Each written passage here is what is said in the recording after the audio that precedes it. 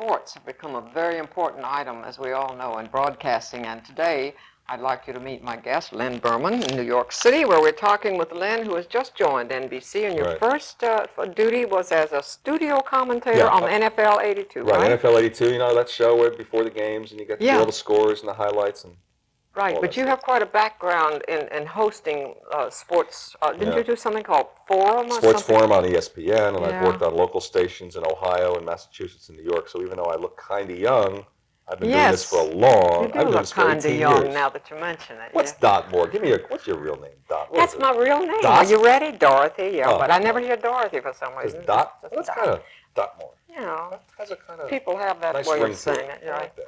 Um, I'm good. Well, Len, I mean, you're a three-letter person too, Ellie. That sounds like a quarterback. Okay. You're quarterbacking the Yes. show. Speaking of Moore. quarterbacks, Yeah, you're the home of quarterbacks, Alabama. let's Richard Todd, New York. start off on, Namath, on the quarter. Stabler. Yeah, you're right. about? Joe Namath. Yeah, You got 'em sure. Right. We've got some pretty good baseball players. Hank Aaron's from Mobile. Yeah. for one, and some other ones. Yes, we're quite sports uh, oriented See down the there. trophy Something that- about the climate, I think. That You see the sculpture they put up in Atlanta? That was Yeah, beautiful. Henry sure did. Yeah. It's gorgeous. It's great. Um, you know, sports, of course, have become a way of life, more or less, in the last eight or ten years. Have they not? Television's had a lot to do with that. Yeah, I mean, indeed it sure, has. people do take it. In fact, some people take it too seriously. I mean, it's Mhm. not the end all and be all if the guy connects on a touchdown pass. It is Yeah. if a guy has bet the mortgage on it, it becomes the end all and be all. But that's a sickness. But maybe you know, sports should be taken as what it is. It's a part of society. It not definitely, everything. yeah. It's not nothing. I don't know. On the That's weekends, fun. it's everything. It sure is for me right now. Dot Moore. Yes, it really is. From from uh, swimming exhibitions to golf to football to Yeah. baseball. Well, et a lot of it. There's Mhm. a lot of there are a lot of networks and there are a lot of cable. There's a lot of programming, so that's why some of that trash gets on there. But I, hopefully there'll be less and And less you of. said trash. I didn't. well, say you know, guys rearranging walls with the, with their helmet on their motorcycle. Yeah. helmet. I mean, Okay. Let's talk. Let's talk about uh, what's happening right now in uh, in football players. Oh, my goodness. NFL are talking Yeah. about going on strike. I know that's sad. You want to talk about it? I sure do. I hope they don't go on strike. I certainly have a, an interest in it now. I mean, the uh, I mean, they're making a lot of money, Dot. Those owners, they really are. Well, I guess that's Just true. from television, before they sell a single ticket, every team's making $15 million a year before they sell a single ticket. They don't have a minor league franchise to, to keep alive the way baseball teams do. They just take those, they have the farm system out of colleges, they're just coming. Most of the teams raised their ticket prices also Yeah. this year. There's no shortage of money on that side of the Yeah. table. The owners do deserve a share. I'm not saying they deserve 55% what they're asking. They deserve to be highly compensated for what they do. And I'm gonna, I will defend that to a guy who's not making a lot of well, money. It's a, it's a dangerous sport if you want to put it that way. Of all sports, it is a dangerous contact sport. sports. It is, and it's right. a short-lived sport. So if that guy can make as much as he can for a three or four, and some of those careers are only three or four years, Yeah. then I don't, I don't begrudge that guy for trying to cash in because you know if he doesn't make the money, the player, that owner's just going to stick it in his pocket because Yeah. that money's there, that's coming in.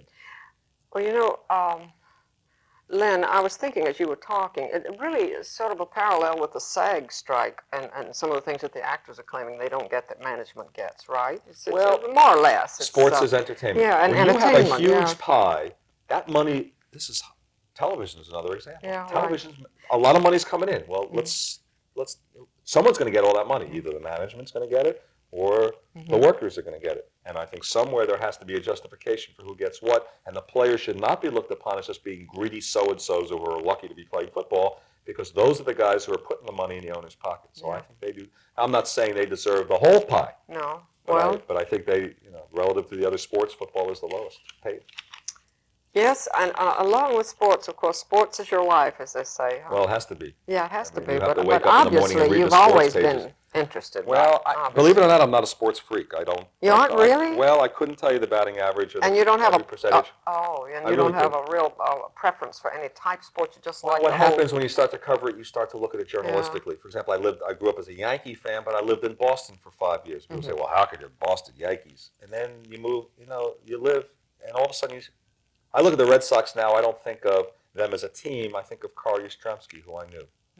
Uh, I Mm-hmm. I think of the New mean. York Jets. I think of Richard Todd, who's a nice man, and I Yes, like. he is a nice man. And I think of Marty Lyons, who played at Alabama, who's a nice Mhm. fella. And the other guy, I don't have to Yeah. pick it out in Alabama to be patronizing, but I'm just saying there are a lot of nice people there. So 10 years from now, when I think of the Jets, I'll think of Richard Todd. I'm not necessarily going to have a great interest in what the Jets or Yankees. Right now, The Yankees, to me, were Mantle and Maris and those guys. That's a very interesting observation. It's the good people. way to It's look not, at it. it's Yeah. not the, the team. It's the people. Okay, we're just about out of time. That's I know not you fair, all. Dot. Let's get more time. This is your no, show. I think we just got started, but I know that you have your own production company. I want to get that in because that uh, shows me that you're very interested in that am. side of the line as well. Well, someday some owner of a television or a network is going to say Berman out, and I want to be prepared. yeah, and you, you want to be prepared, and So, boy, that's really thinking it out. Congratulations on Thank you, that. it's a pleasure to meet you. I enjoyed meeting you. Can I come you, on your show again? Yeah, please do. Just give me a call. Dot Moore. That's a quarterback name.